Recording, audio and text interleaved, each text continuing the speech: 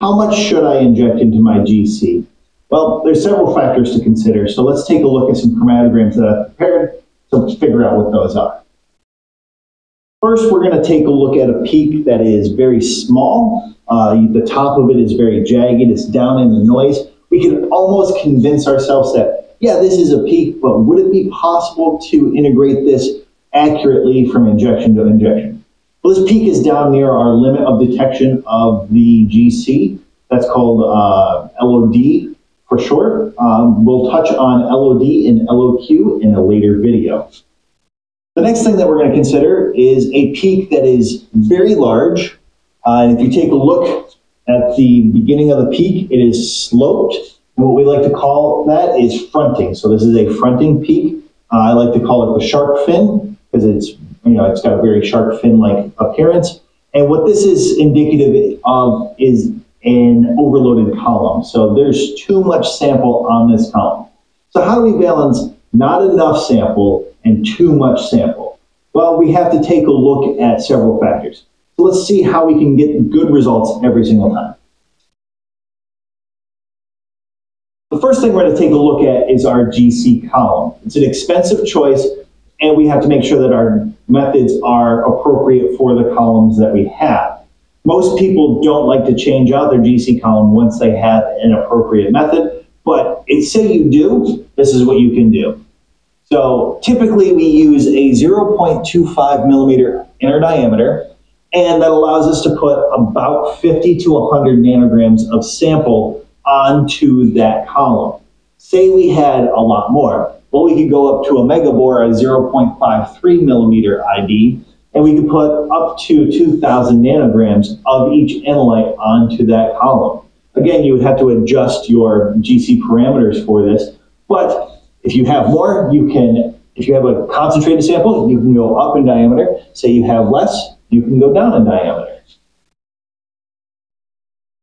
Next, we're going to look at injection volume. It's an easy change to make in the GC software, and everything else is going to stay the same. Let's take a look.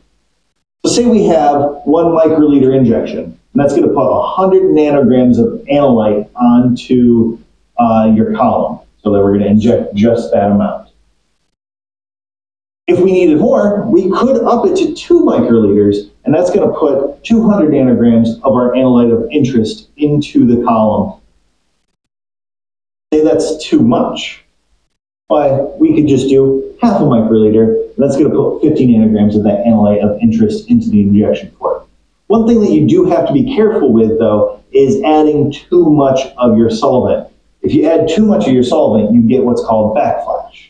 What is backflash? Well, backflash is when your vapor cloud extends beyond the pressure capabilities of your inlet liner, and some of it ends up settling out into unwanted places. In this case, into the uh, carrier gas inlet port.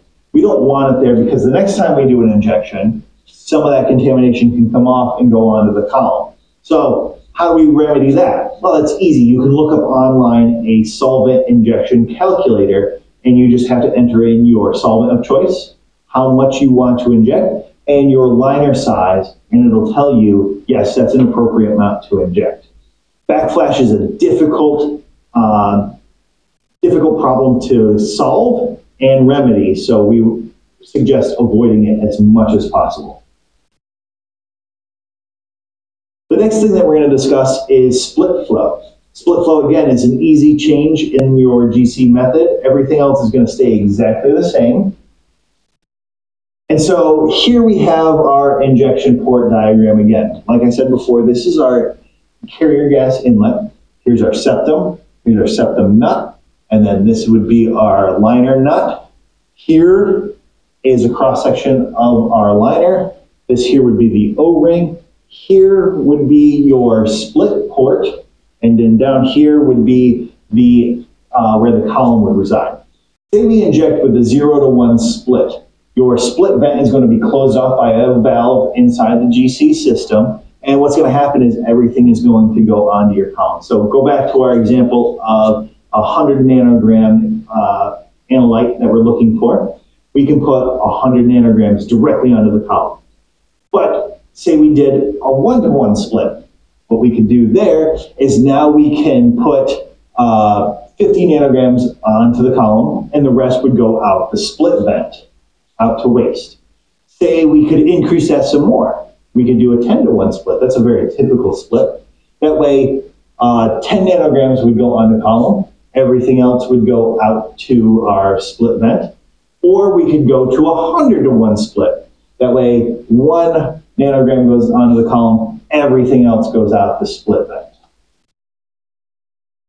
The last thing that we're going to briefly touch on is sample concentration. So in our example, we have 100 nanograms of analyte per one microliter injection. But we can change the concentration of that by either diluting or concentrating. So if we wanted less, we could dilute. If we want more, we could concentrate. We're going to really dig into that in a later video. But uh, your GC method is going to stay exactly the same. Uh, and you can change how much of your analyte is in there based on your concentrations. So these are all just some brief guidelines that you could use to start with your injection. We recommend that you check with your institution to see if they have any other guidelines on what type of injections and how much to inject, or go to trusted literature online. Those are the best options.